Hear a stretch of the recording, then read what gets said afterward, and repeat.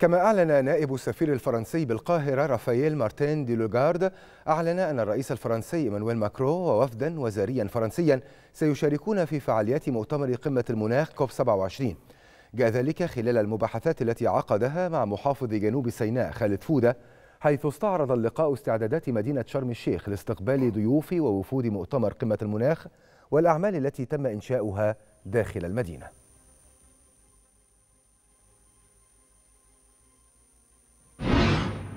معظم السفراء بيجوا بيسألوا على الأحوال وبيطمنوا على على الإجراءات والأعمال. أثنى على الأعمال اللي موجودة في شرم الشيخ وأثنى على الطاقة الخضراء والجمال اللي موجودة في شرم الشيخ. ويعني شرحنا له في عجالة كده إيه المطلوب وايه الفترة الجاية هتشمل إيه والأحداث في عجالة طبعا. وهو سعيد جدا. ويعني صرح إن طبعا إن شاء الله السيد الرئيس ماكرون هيجي ومع ثلاثة وزراء ويعني وفد كبير من فرنسا هيحضر المناخ.